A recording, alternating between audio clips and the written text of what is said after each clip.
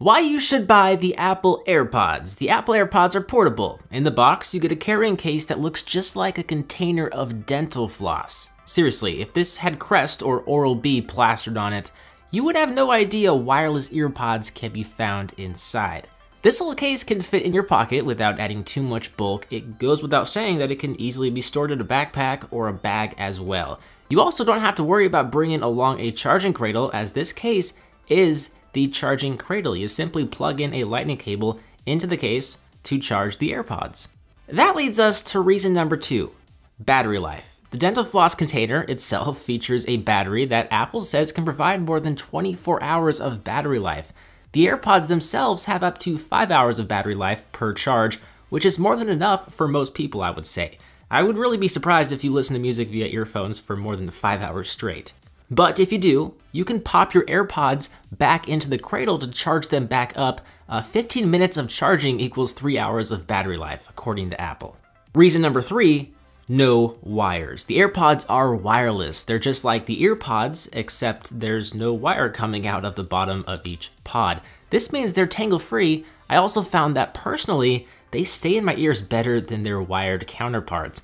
I originally thought it was the design of the pods themselves that actually caused them to fall out of my ears, but it was actually the wires that would ever so slightly wiggle the pods to make them fall out of my ears. Reason number four, easy setup. The AirPods feature the W1 chip, which connects seamlessly to your Apple products.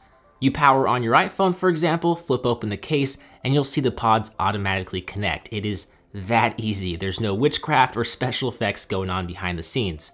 And if you switch to a MacBook, for example, the AirPods will detect the MacBook um, and let you connect to it. Reason number five is the accelerometers and optical sensors. They work with the W1 chip to automatically control the audio and engage the microphone, giving you the ability to use one or both AirPods. They also enable AirPods to play sound as soon as they're in your ears.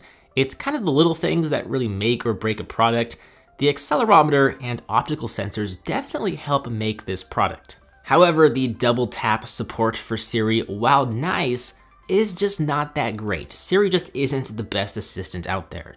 So those are five reasons why you should buy the AirPods. Leave a comment down below letting us know your thoughts on Apple's latest gizmo and stay tuned for our video highlighting a handful of reasons why you should not buy the AirPods.